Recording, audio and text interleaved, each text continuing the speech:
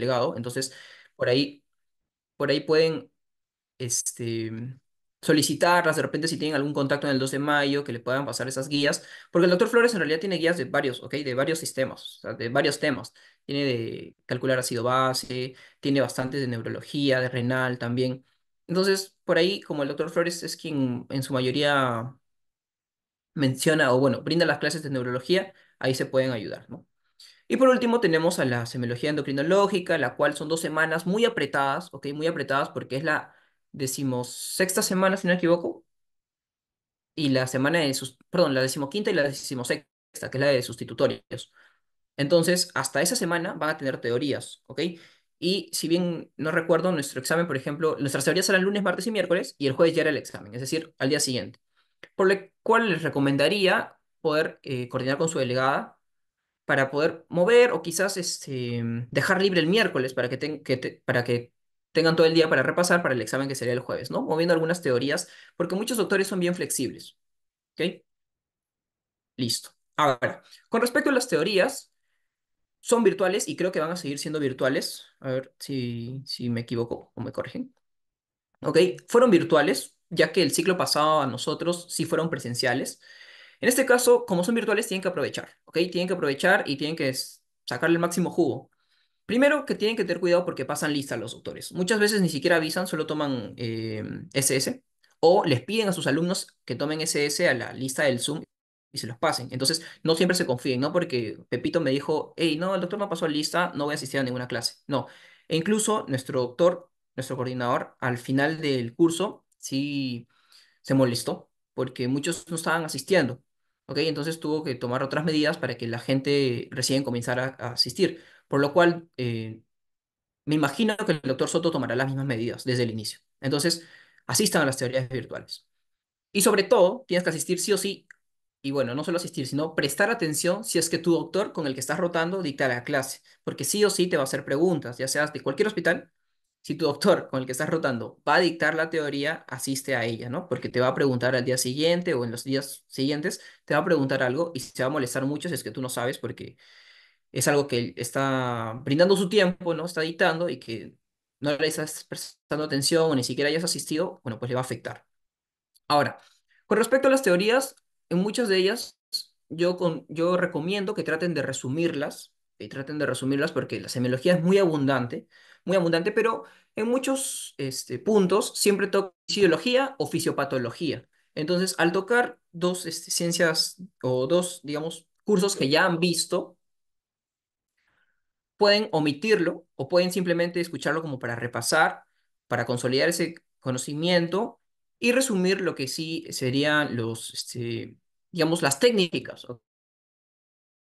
Entonces yo, por ejemplo, para, no me equivoco, para respiratorio, para los síndromes, con la clase de resumen del doctor Soto y las otras clases, simplemente dividía cada síndrome en inspección, palpación, percusión y auscultación. Entonces, de esa manera pueden también dividir los síndromes. Por ejemplo, para el doctor Flores recomendaría mucho hacer los esquemas que él realiza, ¿ok? Porque él nos deja esquemas conceptuales. Bueno, los mismos podrían resumirlos o hacerlos a su modo. Y de otros hallazgos semiológicos, ¿no? Sobre todo este, el uso de epónimos también es muy importante, porque varios usan epónimos. Luego, estos dos vienen en paquete, ¿no? Que si es un doctor joven, la clase es mucho más corta y si es un doctor mayor, la clase es mucho más larga. Así que tomen en consideración eso, porque a veces las clases que normalmente deberían durar 50 minutos se extienden hasta hora, hora y media, ¿ok?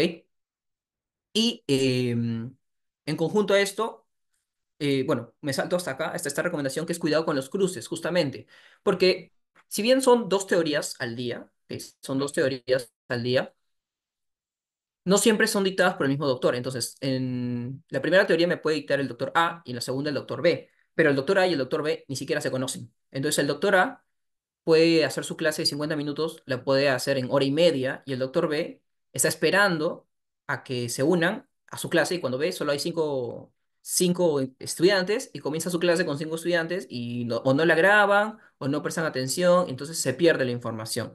Por ende, tienen que, tener cuidado con los cruces. Alguien que le avisa al doctor, doctor, le faltan cinco minutos, o que le avisa al otro doctor, doctor, disculpe, el doctor se está demorando y ha dicho que la clase es larga, se podría iniciar un poco más tarde.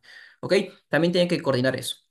Luego, si es que están rotando con un doctor, como les había mencionado, y ese doctor le toca la teoría, ustedes tienen que fijarse en el sílabo. Siempre fíjense en el sílabo porque les va a ayudar bastante. Porque ahí está toda la, tabla incluyendo qué- a qué doctor le toca cuál teoría. Entonces, si ustedes están, rotando con un doctor y saben de que va a dictar la teoría, por ejemplo, del miércoles y estamos lunes, ustedes tienen que avisarle, doctor, no se olvide de que el miércoles tiene esta teoría, porque a veces los doctores se les pasa, y sobre todo si son mayores aún, eh, necesitan esa refrescada de memoria, ¿no? Los cuales también siento que les van a agradecer de alguna u otra manera. Luego, para las teorías, reforzar con el argente. El argente es el libro base, ¿ok? Para cualquier segmento, para cualquier segmento el argente los va a ayudar, los va a salvar. Tiene bastante información, tiene bastantes epónimos. Y bueno, también el Suros les puede servir, el libro Suros les puede servir en alguno u otro segmento, sobre todo, por ejemplo, en semiología general y en semiología respiratoria, que son los dos primeros, ya que el Suros tiene una mayor cantidad de, de maniobras y una mayor cantidad de epónimos. Yo lo utilicé para respiratorio, para general y para digestivo también, para digestivo, donde nos ayuda con maniobras. Y bueno, al ser las teorías virtuales, es decir, al tú tener que estar frente a un computador, a una tablet o a un celular, yo les recomiendo que escojan la comodidad, ¿ok? Escojan la comodidad. Eh, sí, los libros pueden conseguirlo en Amazonas o por PDF, incluso. ¿Por qué es necesario escoger la, la comodidad antes que, que otras cosas, ¿no? Porque mientras más cómodo estés, más atención vas a poder prestar. Por ejemplo, en mi caso, yo tenía que ir todos los días del hospital bueno, me iba todos los días al hospital a la universidad porque tenía clases plan de 4 o 6 de la tarde, digamos. Entonces, a pesar del hueco, yo decía, no, me ahorro un poco de pasaje y voy de frente a la universidad y ahí escucho la teoría. Pero no había lugar. Si había una biblioteca o había mucha bulla o no había cargador. Entonces tenía que estar pensando en otras cosas y muchas veces me distraía, incluso me dormía. Pero ya casi en los últimos segmentos dije, bueno, me iré a mi casa, almuerzo tranquilo, escucho la teoría y luego me voy a la universidad. Cuando comencé a hacer esa rutina me iba mucho mejor porque prestaba más atención a las clases y de esa manera, eh, al repasar en el libro ya no se me hacía tan difícil de comprender, ¿ok? Lo que estaba leyendo. Listo. ¿Hacer alguna consulta, chicos? ¿Alguna consulta con respecto a las teorías o al sílabo?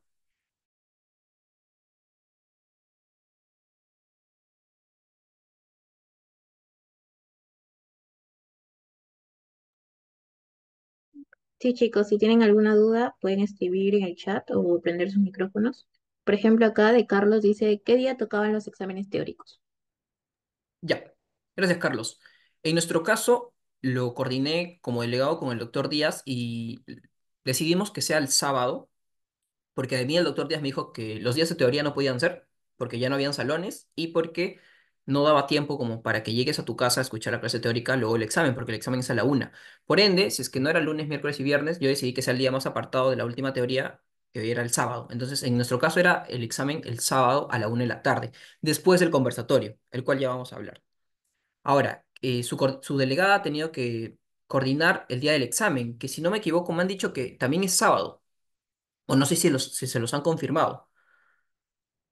En ese caso, tendrían que, co- que consultar con su delegada. Ujú. ¿Alguna otra consulta?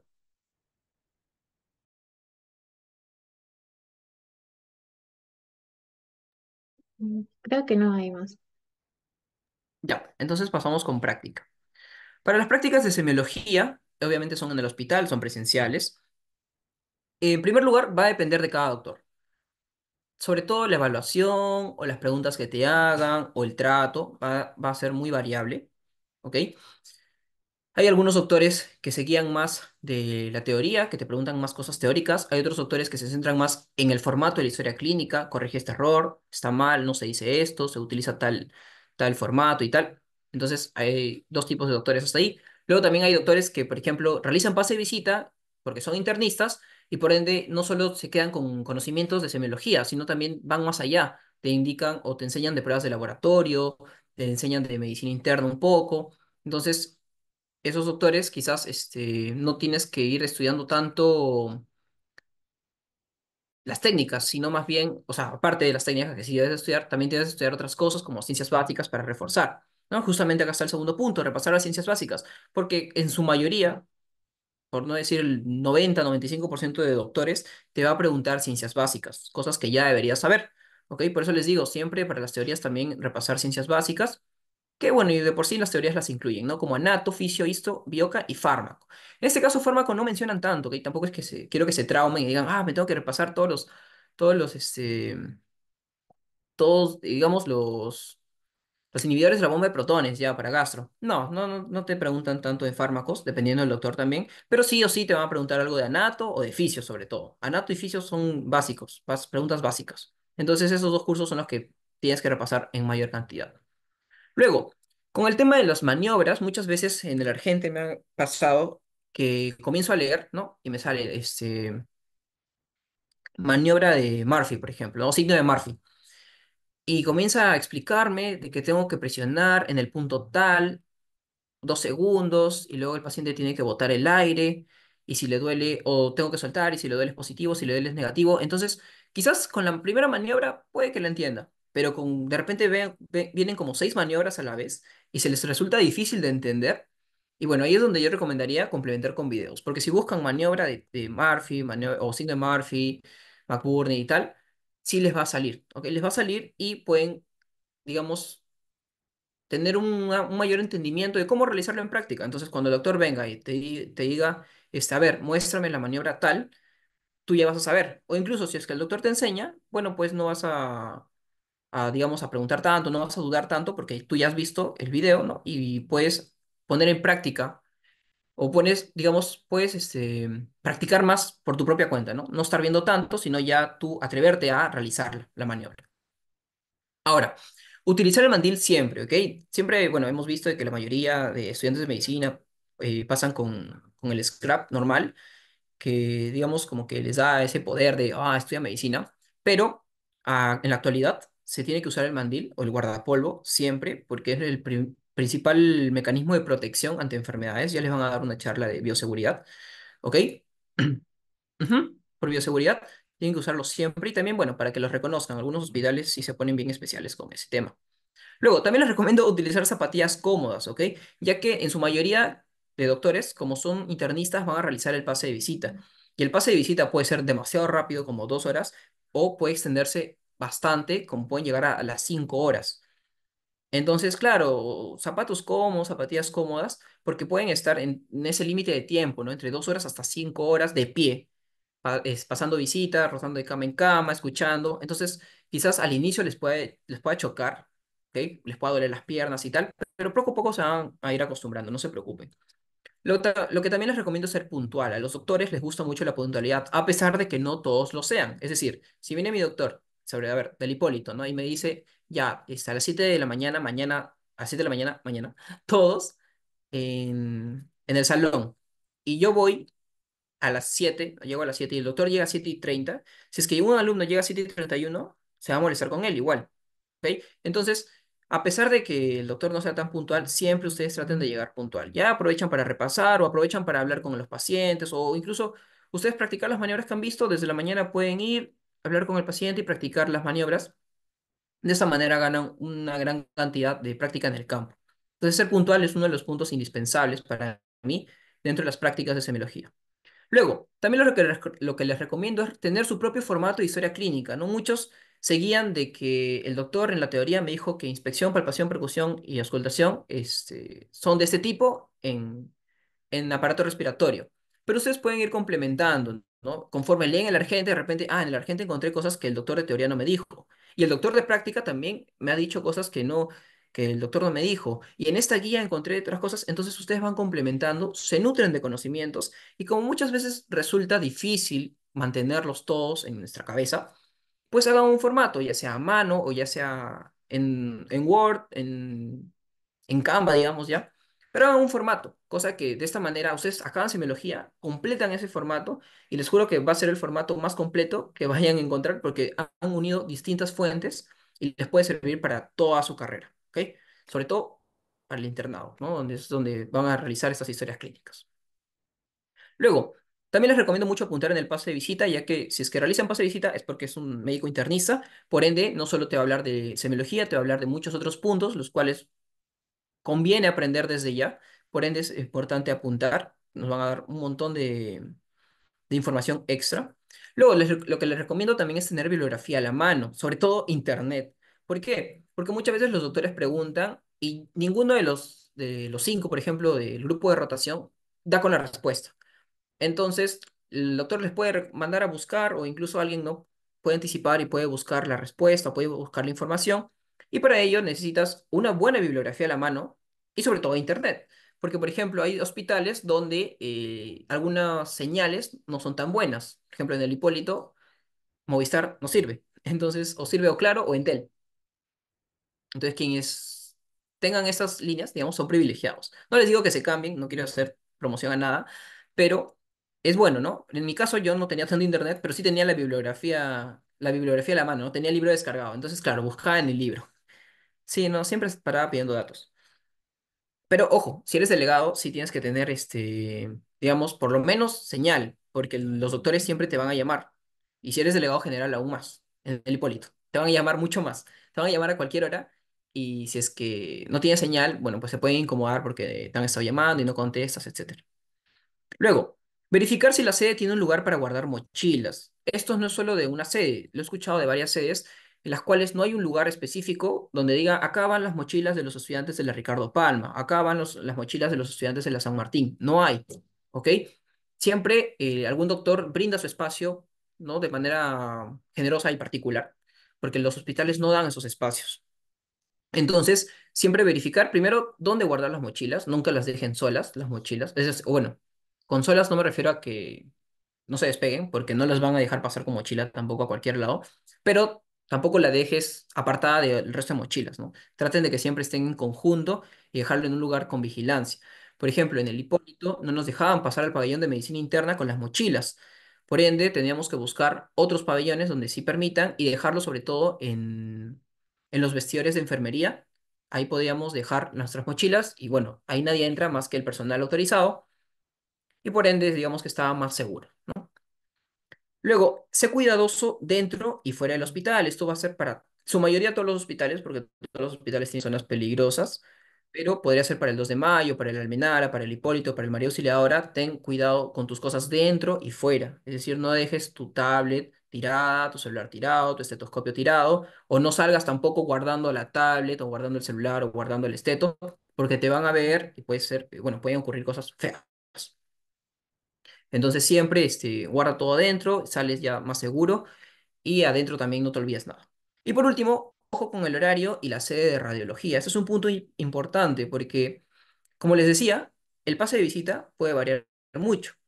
Puede salir a las 10 como puede salir a las 12 y, se- y radiología inicia a 11 y 20.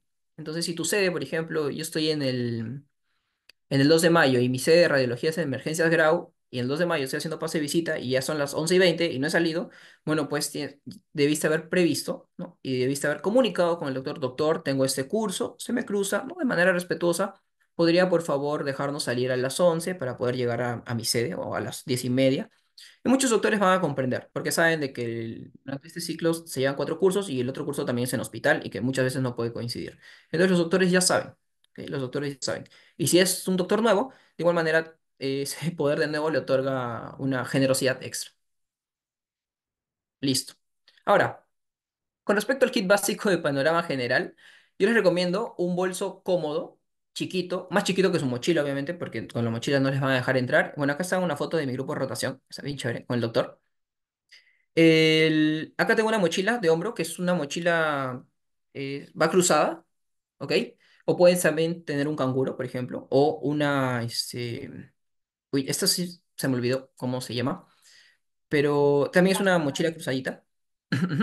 Y dentro de esas mochilas, bueno, pues eh, lo importante es, bueno, si es que tiene una tablet para apuntar, o si es que no, una libreta con cartuchera, el estetoscopio, linterna, martillo de reflejos, el pulso oxímetro, guantes y mascarilla. Eso es lo básico. ¿Ok? Quizás el martillo de reflejos y la linterna no lo vayan a usar hasta el neuro. Ah, un morral, exacto. No lo vayan a usar hasta el neuro, pero de igual manera les puede servir para semiología general. ¿Ok? Digamos que estos dos no son tan importantes, pero pulso oxímetro sí va a ser importante, eh, estetoscopio también. ¿ok? Y guantes y mascarilla sobre todo. Bueno, ahí eh, llevaba el mandil también, un reloj. El reloj es importante también para tomar este, ciertos datos como frecuencia cardíaca o frecuencia respiratoria. Muchos doctores no les gusta que uses celular, si no te piden un reloj específicamente de muñeca. Y bueno, zapatillas cómodas, ¿no? Acá, bueno, es otra foto mía donde me la tomaron de imprevisto, donde estoy igual, ¿no? Con la bata, el esteto, la mochilita, esa cruzada, y mis zapatillas, chévere. Ahora, el ítem más importante de este kit básico es una sonrisa y ganas de aprender. Porque si vas con una cara seria, muerto de sueño, al doctor no le va a gustar. ¿ok? Al doctor no le va a gustar, sea quien sea el doctor. Siempre si es que lo recibes con una sonrisa o con un interés, preguntar o por lo menos intentar responder lo que el doctor te pregunta, va a permitir que te lleves bien con ese doctor. Y ojo que el doctor de práctica, ya vamos a ver de- después, que te pone una nota de concepto. Y mientras, bien, mientras mejor te lleves con el doctor, va a ser un dato importantísimo, un un punto importantísimo. Luego, como recomendaciones para las prácticas, aprovecha al máximo toda oportunidad que se te presente, aprovecha. Si el doctor te dice, haz la maniobra tal, andas la maniobra. A pesar de que no la hayas leído bien o no te acuerdes muy bien, trata de realizarla. De repente el doctor te dice, no, así no es, te muestra de nuevo, vuélvela a realizar como te enseñó. El doctor te dice, anda, tómale la presión. Ay, qué aburrido tomarle la presión, ya he tomado 20 presión, no, im- 20 presiones hoy día, no importa mide la presión, porque las prácticas de semiología en muchas universidades se realizan en todo un año, ¿ok? Entonces, al tenerlas solo, digamos, resumidas a un ciclo, cuatro, cuatro meses, es importante que aprovechen cada momento que se les presenta, ¿no? Por ejemplo, en este caso, me- se me dio la oportunidad de realizar un análisis de gases arteriales. Yo no dije que no, obviamente, fui directo, le dije a la interna que me dé los pasos, me los, me los mencionó y bueno, salió, salí exitoso. ¿Ok? Entonces es importante aprovechar. Quizás esto sobre todo se realice o se note más en los hospitales del MINSA, el Ministerio de Salud, ya que en los de Salud, que pertenecen al Ministerio de Trabajo, no, no tienen, o bueno, los pacientes no son no te dejan tanto explorarlos, ni tampoco los internos o los doctores te dejan tanto tocar, como se dice, ¿no? Vulgarmente tocar al paciente, pero de igual manera, nada, nada, o sea, nada, no hay nada que, se- que no se solucione conversando. Entonces, si tú vas al, si tú vas con el paciente y le, le preguntas qué, real- qué le, qué le vas a realizar o si le puedes realizar dicha maniobra dicha actividad, Muchos de ellos no te van a decir que no, ¿ok? Te van a decir que sí y que para que puedas practicar, porque saben que eres estudiante y que es parte de tu, de tu, de tu vida académica. Por ende, también acá les pongo ese, consejo, arriesgate, ¿no? Y una pequeña frase que es, no hay nada que enseñe más que equivocarse, porque equivocándose aprendes. Y no es que digo que use a los pacientes como sujetos de prueba, ¿no? Obviamente para ellos sí has tenido que ir leyendo tu teoría, leyendo la práctica o viendo algún video que eso ya está bajo tu responsabilidad, pero trata de arriesgarte, porque este es el momento en el cual, si es que fallas, no te van a decir mucho. Porque en el internado, incluso si es que fallas, muchos doctores te pueden gritar. Y si es que eres médico general y fallas realizando maniobras de semiología, peor, ¿ok? Porque ya las vidas corren peligro. Entonces, este es el momento, ¿ok? Este es el momento donde tienes que arriesgarte, donde tienes que dar todo de ti y aprovechar todas las oportunidades. También diviértete, ¿ok? Por ejemplo, estas son dos fotos mías durmiendo, porque obviamente era un ciclo medio pesadito. Para el Hipólito nos teníamos que levantar más temprano de lo habitual, entonces paraba durmiendo en- cuando había, digamos, ciertos huecos o el doctor nos mandaba a estudiar, porque ya me había quedado estudiando la noche anterior. Entonces, bueno, también tómense su, su tiempo, su descanso, no todo ese estudio, ¿no? Hay tiempo para cada cosa. Y bueno, por eso este, ahí estoy durmiendo. Y también complementen, ¿ok? Complementen conocimientos, porque de repente se realiza una maniobra, ¿ok? Eh, por ejemplo, la de la de la es desplazable ya, de para gastro. Entonces, en esa maniobra, ustedes tienen que complementar el por qué existe, por qué se produce dicha, dicha maniobra. Es decir, por qué, porque cuando percuto acá suena mate y cuando percuto acá sonaba este, sonoro y cuando lo volteo, ahora se escucha mate acá y ahora sonoro acá. O sea, pónganse a razonar y complementen los conocimientos, ya sea con las ciencias básicas, como también con radiología, ¿no? Que es un curso que van a llevar a la par y que muchas veces este, mientras lleven neuro en radiología, también van a llevar neuro en semio. Entonces complementen, ¿no? Complementen. Acá una foto de un compañero, Américo, donde se coló al sistema, el Almenara, y bueno, estaba buscando tomografías, ¿no? Complementen, porque de esta manera, complementando, uniendo, uniendo conocimientos, es en la cual se establece el aprendizaje. ¿Hasta ahí alguna consulta, chicos? Con respecto a práctica.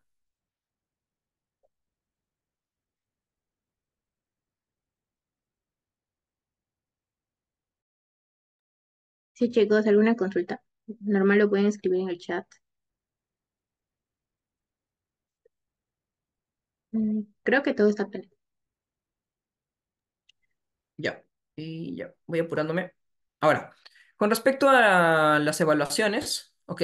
Como recomendación, daría para las evaluaciones teóricas estudiar con tiempo, a pesar de que son tres semanas, dos semanas, tres semanas, dos semanas, pasan volando, entonces eso tiene que, tienen que ver los temas con tiempo, por eso les recomiendo prestar atención a la misma clase, para que ya luego no tengan que estar viendo el tema como si fuese nuevo.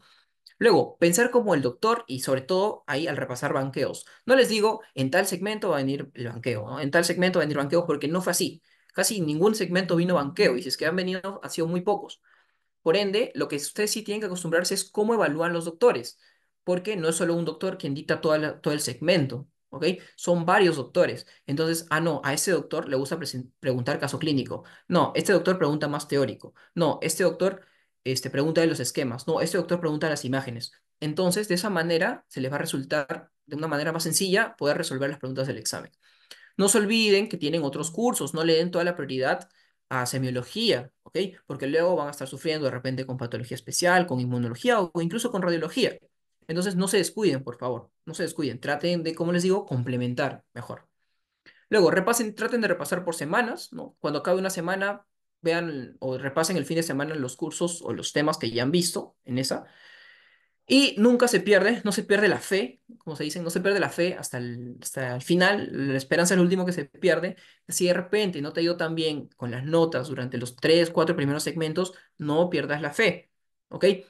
Hasta el susti. El susti, una vez que pasó el susti, ahí recién puedes perder la fe. Pero no, no se pierde la fe hasta el susti. ¿Por qué? Porque en primer lugar, para este curso, lo que se ha venido llevando es de que el sustitutorio lo pueden dar cualquiera para subir nota. Ojo. Eso es un punto muy positivo. Bueno, con el doctor Díaz. Con el doctor Soto no sé si será lo mismo. Imaginemos en el peor de los casos que no. Bueno, igual el susti te puede ayudar a elevar tu nota. Ahora, segundo, no tengas en, en cuenta, digamos, también todas las teorías, porque de repente puedes haber sacado 0,9, 10, 0,9, no, por ejemplo. Pero con la nota de práctica, por como has participado y te has esforzado, eso puede subir. De repente la nota práctica sacaste 14, 15, 14. Entonces ese 0,9 se puede convertir en un 11, el 10 se puede convertir en un 12 y al final vas aprobando todos los segmentos.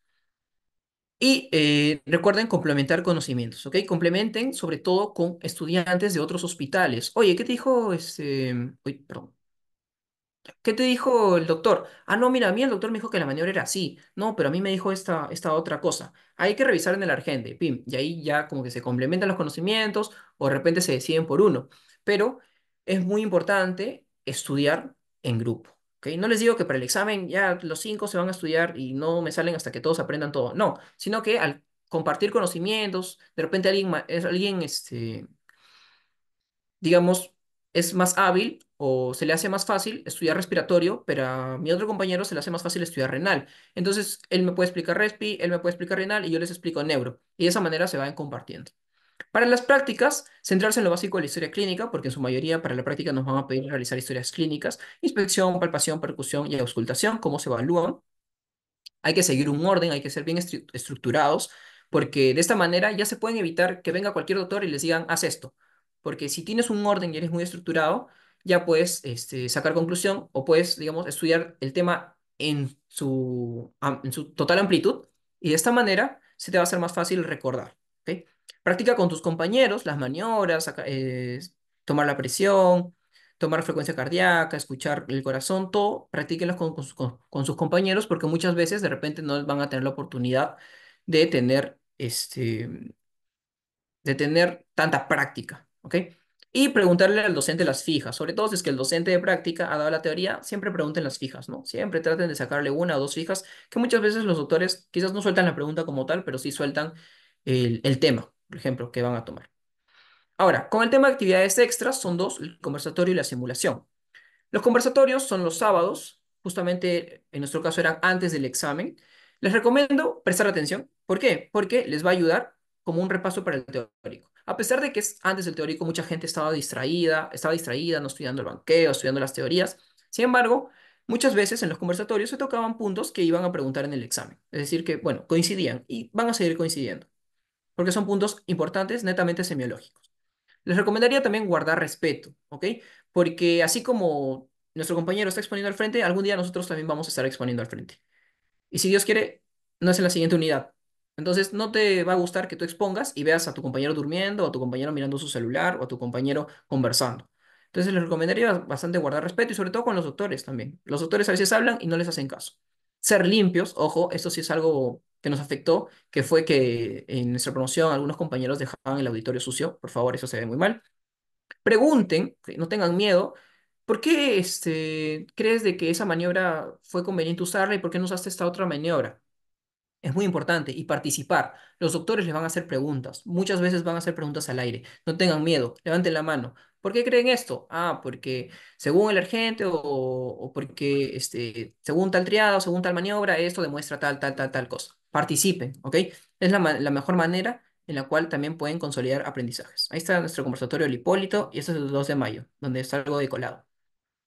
Y por último, ya para la simulación. La simulación fue eh, una actividad innovadora que se introdujo en nuestro ciclo, que es prácticamente una simulación de una persona que asiste a un consultorio, en nuestro caso fue respiratorio, y se hace en grupo, creo que son grupos de 15 aproximadamente, no, perdón, 12 y de ellos dos entrevistan al, al paciente, que es un doctor que se hace pasar por paciente, y tienes que sacarle el máximo provecho a las preguntas. Entonces ahí es donde tú te tienes que inventar hasta la mínima cosa para preguntarle y poder realizar una correcta historia clínica, porque luego todos, todos los alumnos que estaban escuchando van a realizar esa historia clínica. Por ende, repasen historia clínica antes de su simulación. Preguntar a más no poder al doctor, pregúntale, bombardeenle de preguntas Disfruta de la experiencia porque es bien bonita, porque es como si estuvieses en un consultorio privado. Y trata de llevarte bien y confiar en tus compañeros, ¿no? Porque de esa manera se puede realizar un mejor, este, una mejor historia. Y ya estas son las notas, ¿ok? Esto, todo esto está en su sílabo, no se olviden. Eso lo pongo como recordatorio porque muchas veces la gente ni siquiera lee el sílabo. Acá están, son las notas del promedio final, donde son los siete segmentos más el sustitutorio, pero solo cuentan siete. La nota más baja se reemplaza, bueno, hasta en mi ciclo se reemplazaba por el sustitutorio. Y en la práctica también. Ahora, la práctica este, abarca, primero, la nota de concepto que te pone el doctor con quien has rotado, la nota de la historia clínica que le realizas al doctor con quien has rotado, que no siempre haces historia clínica, y por último, la, nota de un examen que te hace el doctor de la siguiente rotación, ¿ok? Siempre va a ser el doctor, el, por ejemplo, yo realicé mis prácticas con el doctor Díaz, ya, pero ahora en, las siguientes, en el siguiente segmento, siguiente segmento me toca con el doctor Regis. Entonces, quien me va a tomar el examen de todo el segmento que llevo con el doctor Díaz va a ser el doctor Regis y son cincuenta por ciento cincuenta por ciento ¿no? La nota del doctor Díaz con la nota del doctor Regis. Entonces, estudien también para ese examen, que bueno, les va a servir para repasar para el teórico. Luego, esta es la investigación formativa. No se olviden de que tienen una investigación formativa que les recomiendo con, eh, con todas las ganas del mundo, ¿ok? Que lo realicen antes, mucho antes. Semana 10 semana 11 ya vayan avanzando su historia clínica. Semana 2, su, su investigación, perdón. Semana 12 preséntenla. ¿Por qué? Porque no muchos los doctores informan esto, ¿ok? A algunos hospitales yo les decía, este, como delegado, ¿no? Chicos, el doctor Díaz me está pidiendo la investigación formativa para el viernes y algunos hospitales ni siquiera el doctor les había dicho que tenían que hacer la investigación formativa. Entonces, siempre, siempre realícenla con tiempo. Tienen que presentar prácticamente un caso clínico, una un caso clínico con formato de investigación. Entonces, por ejemplo, en nuestro hospital, el doctor Sandoval, em, digamos, como que se alocó y en la semana 12 dijo, ya, me lo presentan la próxima semana, el martes. No quiero más trabajos después del martes. Nos obligó, digamos, a, presentarlo antes de tiempo, pero luego en las últimas semanas estuvimos libres, mientras otros compañeros de otros hospitales estaban como que realizando la investigación, estudiando para este examen, estudiando para el otro examen, etc. Y ahí está la rúbrica.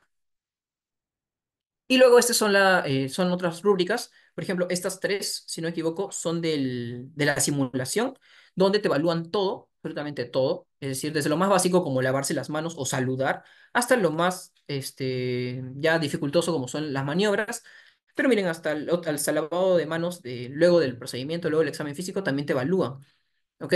También, este, o sea, prácticamente no tengas tanto miedo, porque todo te lo van a todo te lo van a especificar en, ese- en esa rúbrica. Entonces, si tú lees la rúbrica, ya vas a saber en qué no debes fallar y qué no te debe faltar, ¿no? Te vas a asegurar bastantes puntos.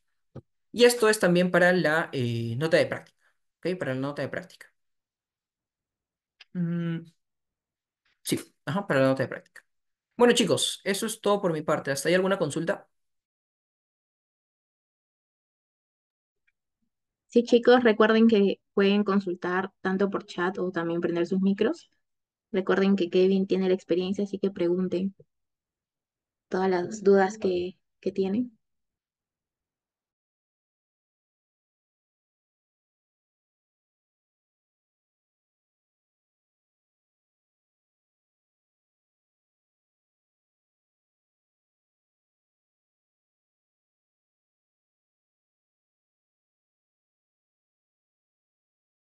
No se preocupen, gracias a ustedes.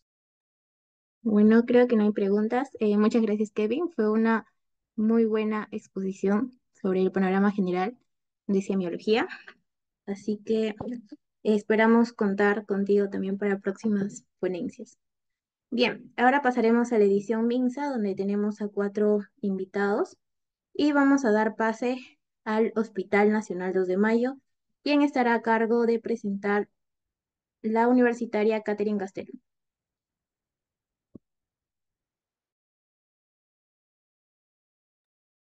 Puedes empezar, Catherine.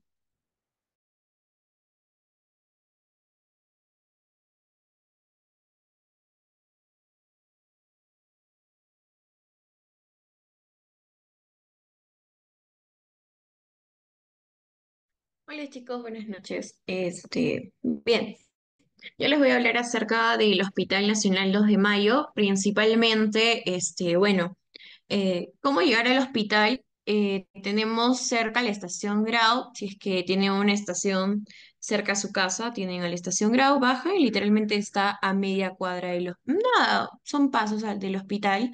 Y si es que tuviesen este, otra vivieran por otro lado, ¿no? Por ejemplo, hay algunos compañeros que llegaban hasta la estación central del Metropolitano y de ahí tomaban un carro para toda la avenida Miguel Grau y pues llegaban al hospital como tal.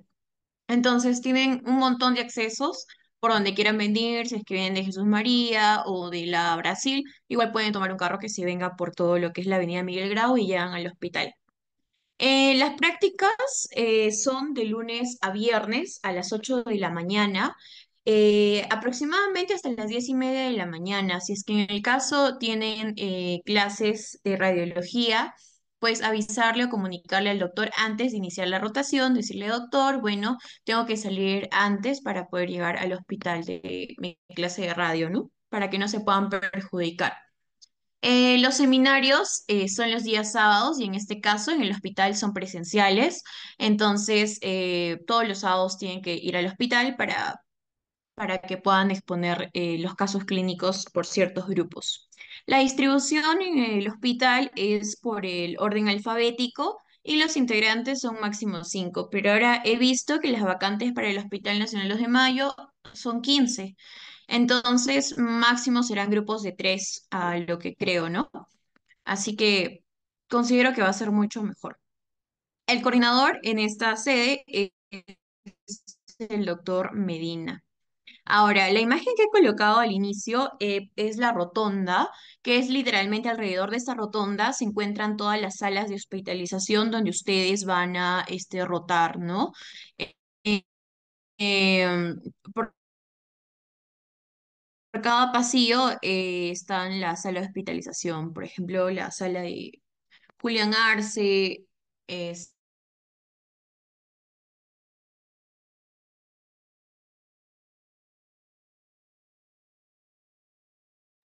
bueno, se me cortó el internet. Oh, bueno, este siguiente, por favor. Bien, gracias. Eh, el hospital tiene su propia, eh, su propio esquema de historia clínica, es muy diferente a los demás hospitales y creo que cada hospital tiene su propio esquema, ¿no? Entonces, ustedes deben de seguir y guiarse su propio esquema del hospital. Es muy necesario porque si van con otra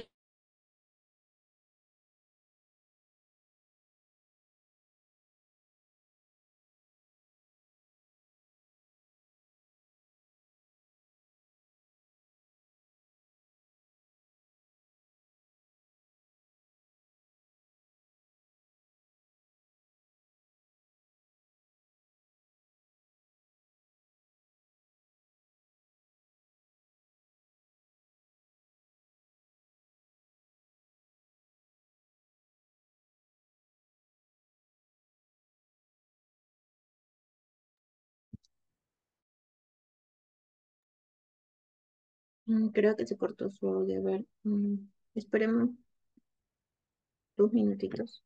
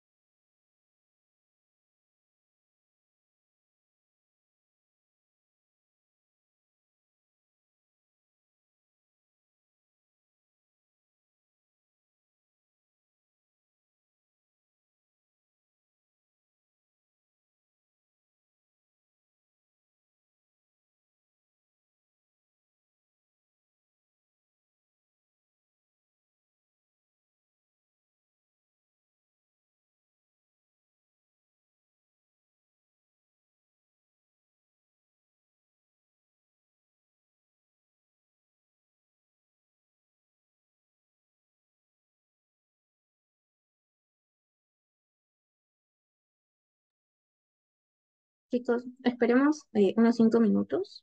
Creo que va a arreglar un problema con su internet.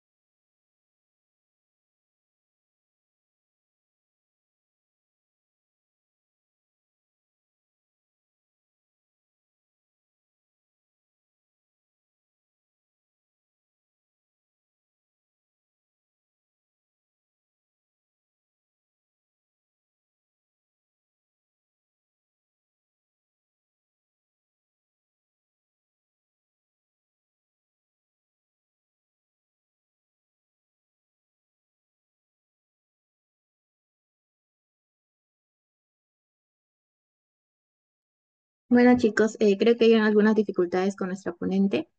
Bueno, vamos eh, a dar esta del 2 de mayo al final. Mientras pasamos al Hospital Hipólito Unanue, quien va a ser presentado por la universitaria Andrea Reyes Armas. Te doy el pase, Andrea. Sí, chicos, buenas tardes. ¿Me indican se me escucha? Buenas tardes, chicos. ¿Me indican si se me escucha, por favor?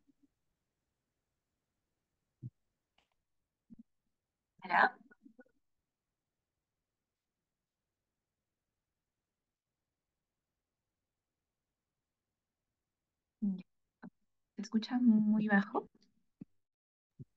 Sí se escucha, Eh, sí se escucha. entonces, muy bien. A ver, un segundo.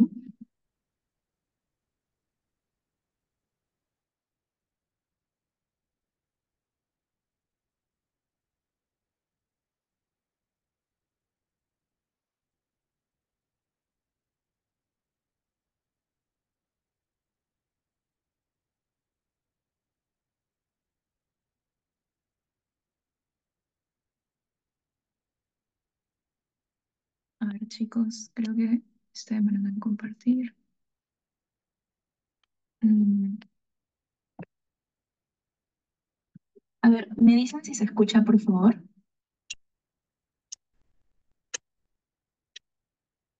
Sí se escucha, sí se escucha, Andrea. Y también se ve tu presentación. Ok, listo. Buenas tardes chicos, ¿cómo están? Mi nombre es Andrea Reyes. En este caso les voy a hablar cómo sobreviví a mi primera rotación.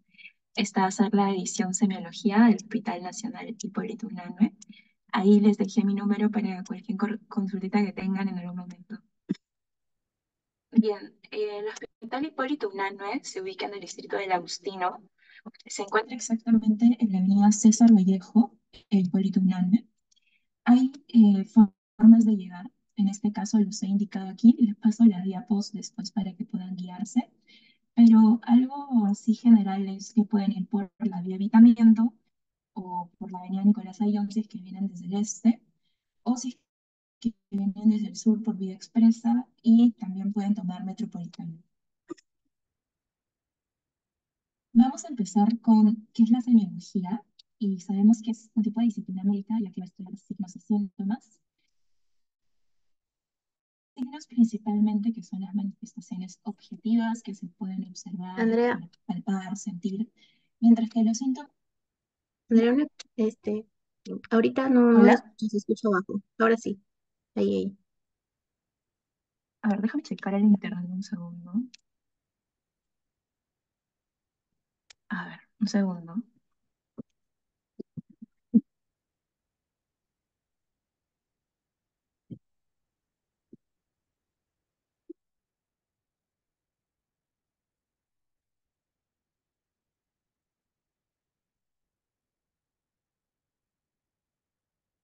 A ver,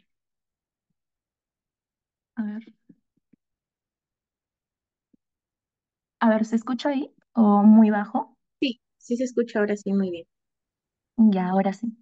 Les decía sobre la semiología, que es la disciplina médica, ya que va a estudiar los diferentes signos y síntomas de los pacientes. En este caso, cuando hablamos de signos, son las manifestaciones objetivas que se pueden observar, mientras que los síntomas van a ser las experiencias subjetivas que va a tener el paciente, y esto va a variar de acuerdo al paciente y con la, en conjunto de estos dos vamos a poder llegar a un síndrome, eso ya lo van a poder ver en sus primeras clases teóricas. Podemos decir entonces que es el arte y la ciencia de interpretar las manifestaciones que un paciente presenta y a través de ellas llegar a un diagnóstico clínico. Si podemos sintetizar la semiología en cuatro palabras, sería observar, escuchar, palpar y entender.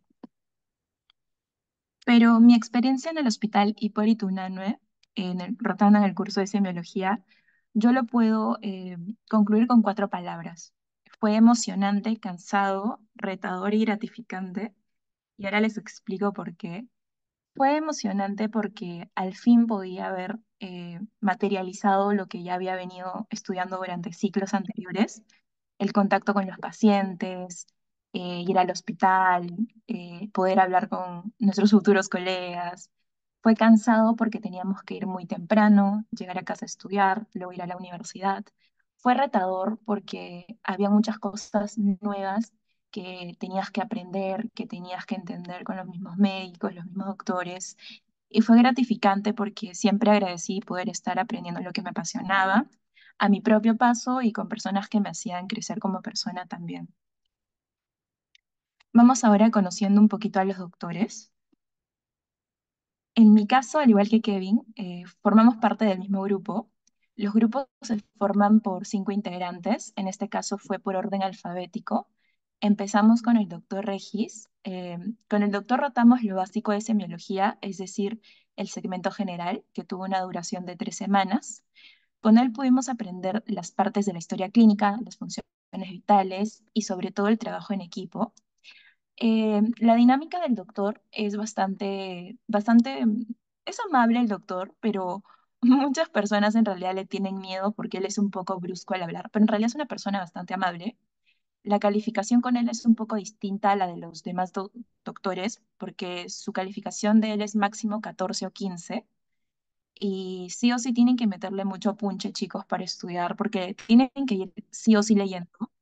Y la evaluación del doctor es de la siguiente manera eh, van a ser evaluados tanto por este docente con el que han llevado y con el siguiente docente de la siguiente, eh, del próximo segmento.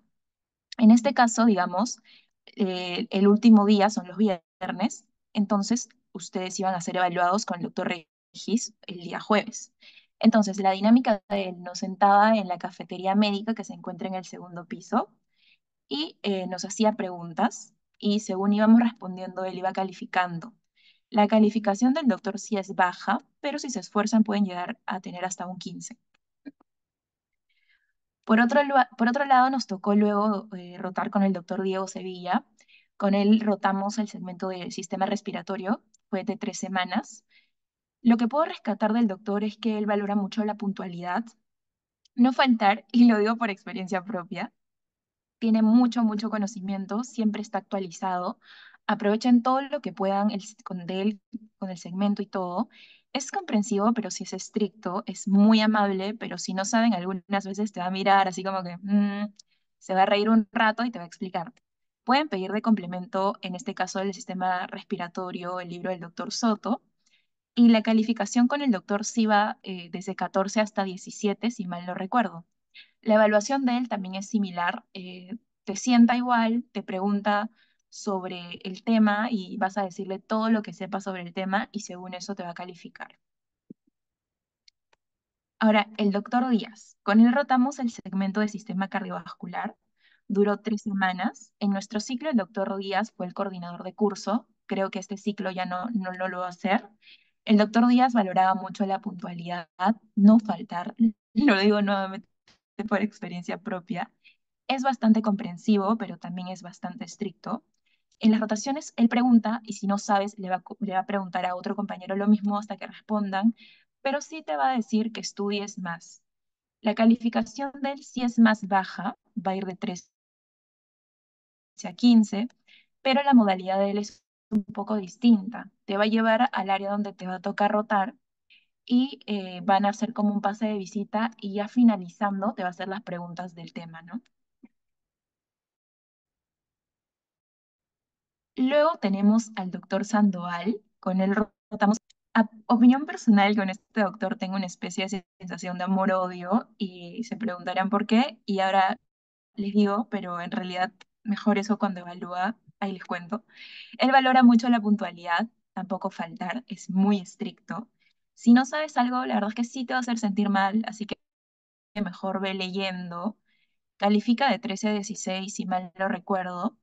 Y cuando les decía lo de amor-odio, es porque en realidad sus evaluaciones he visto que ha hecho llorar a muchas personas. De verdad ha hecho llorar a muchas personas. En algún punto a mí también me ha hecho sentir mal, pero no creo que lo haga por ser malo o algo por el estilo, sino más bien lo hace con el afán de que nosotros aprendamos y que demos lo máximo de nuestro potencial. Quizás no es la mejor forma, pero él quiere que seamos buenos profesionales y a veces él se frustra de que no demos nuestro 100% y a veces pues se puede, se puede interpretar de esta manera. Luego tenemos al doctor Soto. Con el doctor Soto rotamos el segmento del sistema urinario que duró dos semanas. A mi parecer es uno de los mejores doctores que tiene el hospital. Si bien todos los doctores tienen un conocimiento increíble de los temas, siento que este doctor está un poquito más allá, al igual que el doctor Sevilla, ya se van a dar cuenta. Es un caballero en todo el sentido de la palabra, es muy amable, es tranquilo, es muy buen docente. El doctor Soto evalúa mucho la puntualidad, que vengas leyendo, y también evalúa las faltas. Él califica muy parecido al doctor Sevilla, pero es- en general es un muy, muy, muy buen docente. Después de esto seguía el segmento de neuro, que lo volvimos a llevar con el doctor Regis, y luego el segmento de endocrino, que lo llevamos con el doctor Sevilla, pero eso ya no lo mencioné. Ahora, en general, la finalidad de hablarles de los doctores, de los docentes, no es para compararlos, ya que ninguno es mejor o peor, tampoco sugestionarlos o algo por el estilo, solo es guiarlos en algo que ustedes mismos a su debido tiempo irán descubriendo. Todos y cada uno de ellos les aportará de una forma distinta y única algo que debemos valorar y aprovechar al máximo en realidad. Respecto a las evaluaciones, al culminar cada segmento, en nuestro caso siempre eran los sábados, tendremos un conversatorio que va a corresponder a un hospital dictarlo. En este caso lo hacían desde un caso clínico, ¿no? Empezaba a las 8 de la mañana y podía terminar a las 10 o al mediodía, como fue el último conversatorio. Ya después, como a la 1 de la tarde aproximadamente, teníamos el examen teórico el mismo día sábado. Recomendaciones personales. Bueno, a partir de ahora, el libro que usarán para complementar las clases teórico-prácticas tiene que ser el Argente. Estudiar previo a tus rotaciones será clave para poder entender de lo que hablan los doctores. Siempre revisa las clases teóricas, pero no solo te conformes con ellas. Dedícale el tiempo que semiología requiere para estudiar, o sea, todos los días. Pero muy importante, no descuides el resto de cursos, sobre todo ahora que estás llevando, bueno, que vas a llevar inmunología, patología, que son cursos bastante, digamos, extensos e informativos. Eh, te recomiendo que organices bien tus tiempos, si no va a ser un poquito complicado. Lo que sí o sí tienes que llevar es una libreta o una tablet para que puedas apuntar todo lo que los doctores te dicten en la rotación. Scrap y bata es obligatorio por un tema de bioseguridad y también te lo van a decir en, en cuanto llegues. Zapatillas cómodas, yo en este caso usaba Crocs, la verdad es que me parecían súper cómodas, pero depende de cada uno. Estetoscopio, el oxímetro, mascarillas, la linterna médica y sobre todo el alcohol. Es muy importante porque como estamos en contacto con pacientes, siempre tienes que estar al pendiente de eso. Y también los guantes, ¿no? Que son muy importantes. Ahora, acabando todo esto que creo que es lo general y ya lo van a ir viviendo, considero que las notas son importantes, pero tu salud también.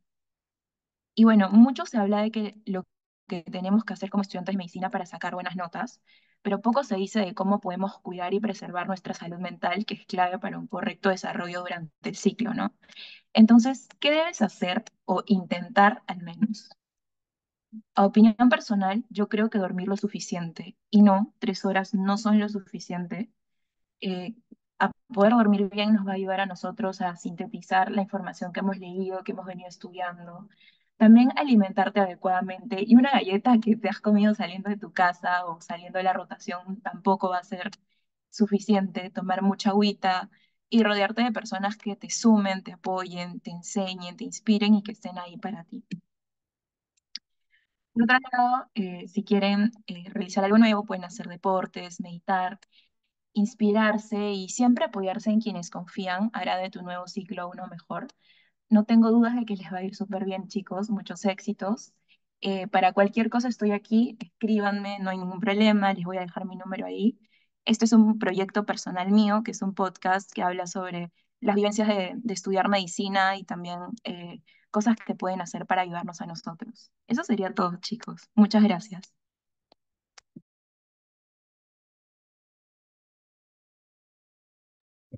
Muchas gracias, Andrea. ¿Alguna pregunta, chicos, que quisieran hacerle?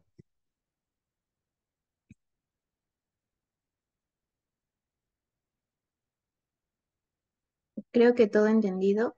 Así que muchas gracias, Andrea, por eh, una increíble ponencia. Ha sido muy fructífera para todos nosotros y esperamos contar con tu apoyo en otras ponencias más. Bien, ahora damos pase a- al Hospital María Auxiliadora con la universitaria Madeline More. Puedes empezar, Madeline. Gracias, Alex. Eh, un.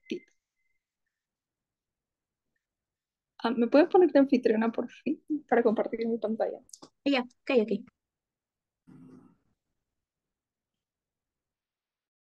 Aquí.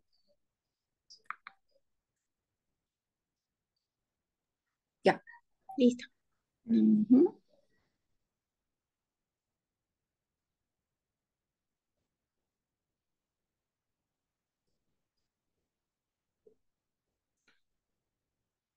Ok.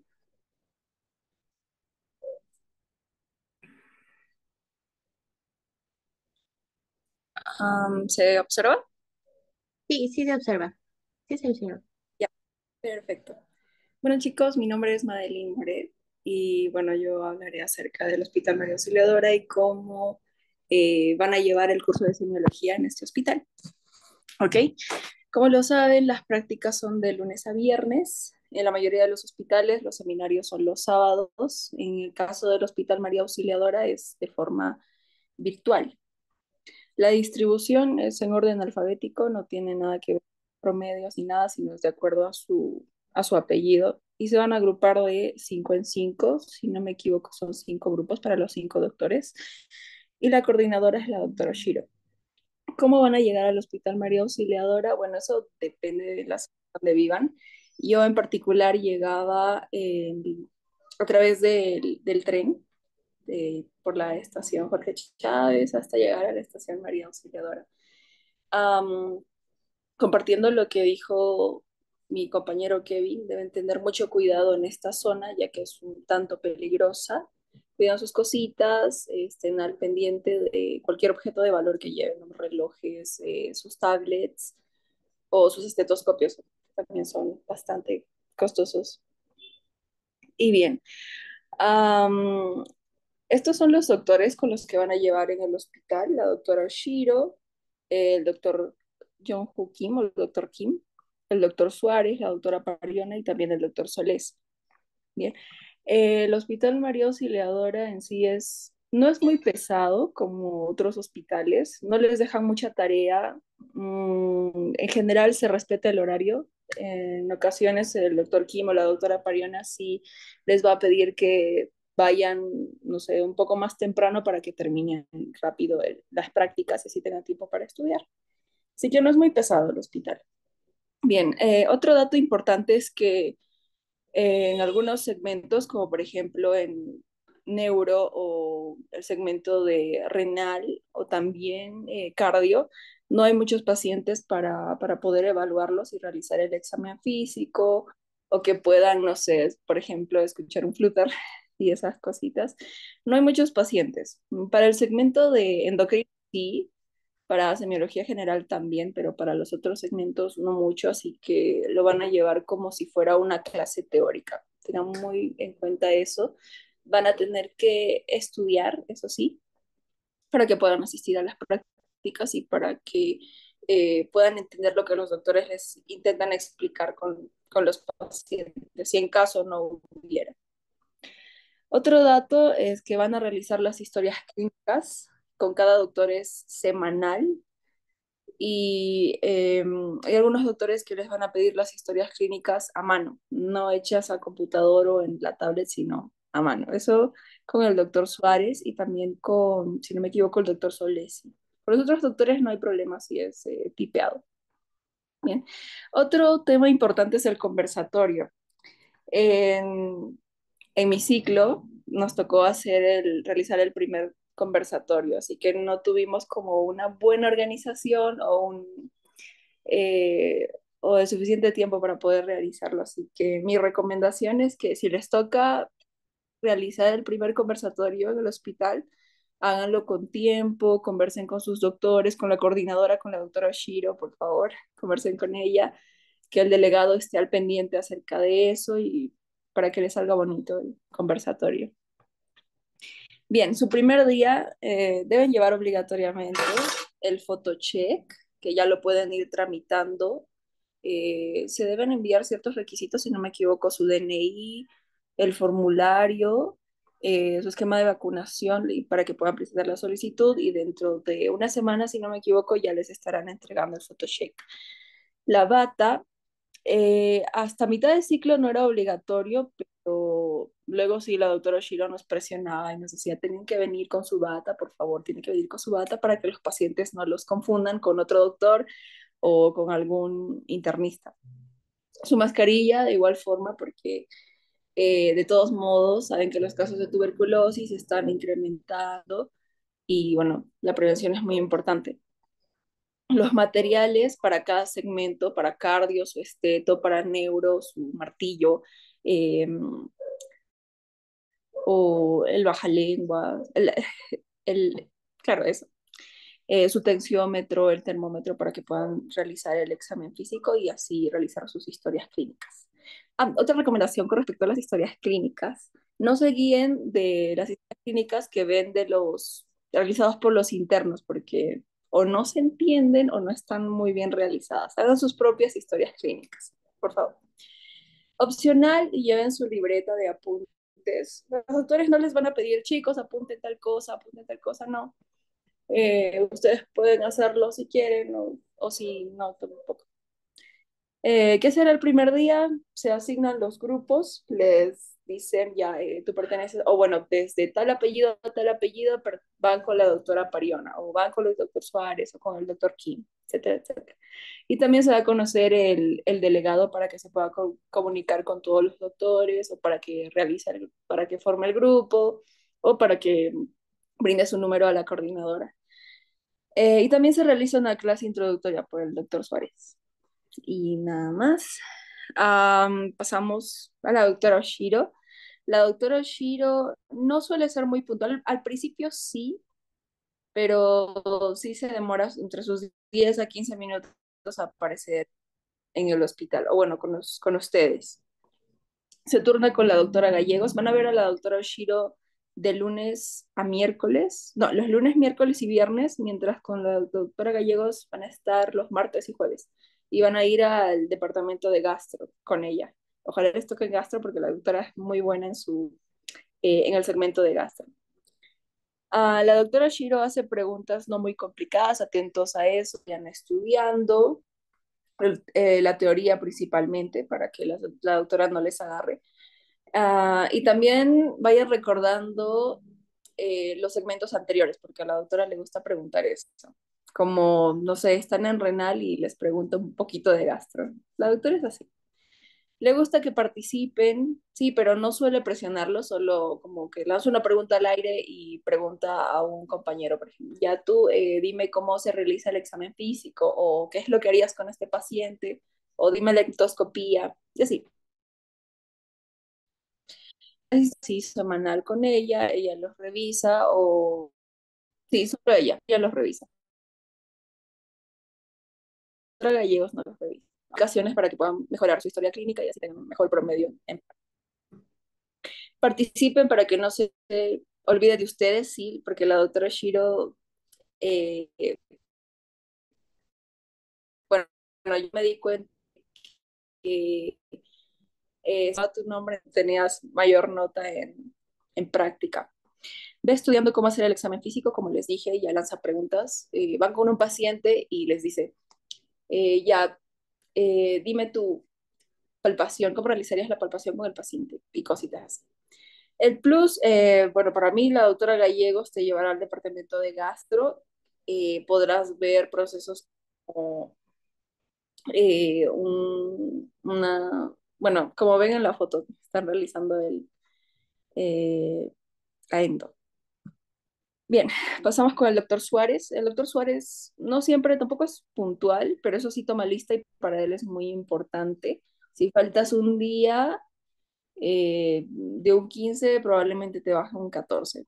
Eh, el doctor Suárez es, es así, pero es un buen doctor, es muy amable. Él empieza por la parte teórica.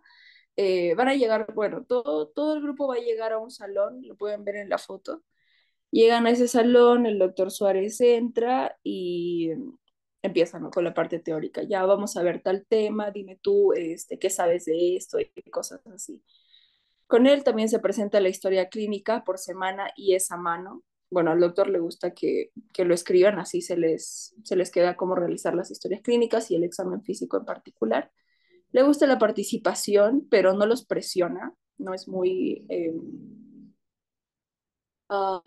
estricto, por así decirlo, y accede a hacer las clases virtual en una o dos ocasiones, si es, eh, tienen algún otro examen, por ejemplo, radio o patología, se lo piden con amabilidad y el doctor Suárez normal accede. Ya lo realizamos de manera virtual. Principalmente cuando no hay pacientes, por ejemplo, en neuro. El doctor dice ya, bueno, no podremos ver pacientes, entonces sí se puede hacer virtual y lo hacen de manera virtual. El plus con el doctor Suárez es que van a realizar un repaso para el examen, esto los viernes, ya que nuestro examen fueron los sábados, después de los conversatorios. El doctor eh, habilitaba eh, un aula para, en Zoom para poder realizar el, el, banqueo. El doctor traía sus preguntas y hacía que, que los demás estudiantes participen y a través de ello también el doctor calificaba. te califica y de ahí sale tu, tu nota de, de práctica. El doctor Kim, el doctor Kim sí es muy puntual, incluso puede citarlos 30 minutos antes para acabar temprano. las clases empezaban a las 8 y el grupo del doctor Kim ya estaba a las 7 y media eh, para poder pasar visita con el doctor Kim, si es que pasaban visita, acá. Se turna con la doctora Pariona, el doctor Kim de la doctora Pariona, eh, los lunes, martes y miércoles. El doctor Kim no un examen oral, reúne a todo su grupo, son los viernes, reúne a todo su grupo, incluso con el, con el de la doctora Pariona, y lanza preguntas al azar. Ya dime, eh, alumna oré, eh, por ejemplo, las 5H de paro cardíaco, y tú tenías que responder. Y ahí sale tu nota. Mientras más participaciones tengas, el doctor pasa de unos 12, 13 a 14, 15. pero eso se promedia con las historias clínicas. Eso sí gusta que sus alumnos aprendan. El doctor habla, habla y habla y habla. Habla mucho. Así que estén muy atentos. Hay preguntas. O sea, termina de eh, hablar unos 10 a 15 minutos y lanza una pregunta, así de, de, forma rápida. Cualquier estudiante y tú lo tienes que responder lo más rápido posible. Así se da cuenta que estuvieron atentos. Uh, mi recomendación es que vayan leyendo, suma puntos para el examen. Recuerdo que una fecha llevó con un paciente eh, un síndrome mediastínico y él lanzó la pregunta. Eh, el que respondía dos puntos. Un plus uh, es que cuando pasas visita